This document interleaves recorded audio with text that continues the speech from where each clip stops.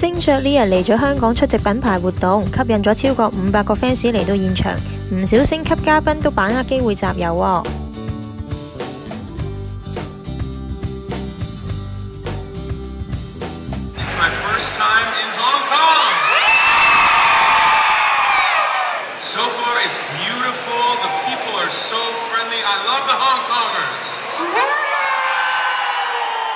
Uh, again, I'm, I'm so grateful for everyone who saw Avengers Endgame.